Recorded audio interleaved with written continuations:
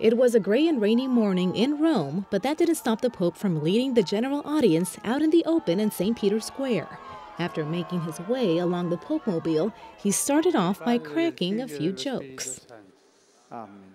La pace sia con voi e con il tuo spirito. Buongiorno. Ma buongiorno, ma non una bella giornata, eh? In his catechesis, he talked about the family. March 25th marks 20 years since the release of the Evangelium Vitae encyclical, and so the Pope called for prayers, especially as the Vatican gets ready for the second phase of the Synod on the Family in October. Vi chiedo per favore di non far mancare la vostra preghiera. Tutti, Papa, Cardinale, Vescovi, sacerdoti, religiosi, religiose, fedeli laici, tutti siamo chiamati a pregare per il Sinodo. Di questo c'è bisogno non di chiacchiere.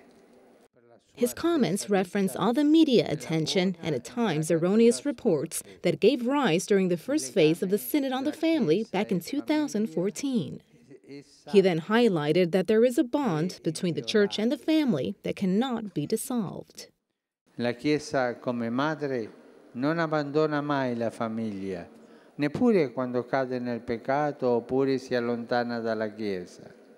Sempre farà di tutto per cercare di curarla e di guarirla, di invitarla a conversione e di riconciliarla con il Signore. Towards the end of the audience, the Pope lashed out against rising unemployment, just as he did during his visit to Naples on Saturday. He added that when one cannot pay for bread, dignity is lost.